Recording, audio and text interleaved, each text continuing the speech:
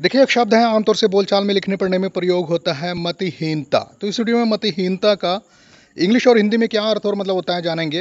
Example से sentences में use करके इस शब्द को और भी अच्छी तरह से समझेंगे। तो चलिए वीडियो को स्टार्ट करते हैं। क्या मतलब होता है मतिहीनता का इंग्लिश में? देखिए, इंग्लिश में मतिहीनता को बोलते हैं absence of mind immaturity silliness absurdity stupidity foolishness lack of experience Hindi में अर्थ होता है मति कम होने की अवस्था या भाव। अज्ञानता, मूर्खता, मूढ़ता, नादानी, अनाड़ीपन, जड़ता, जहालत, बेवकूफ़ी या चूतियापन थी।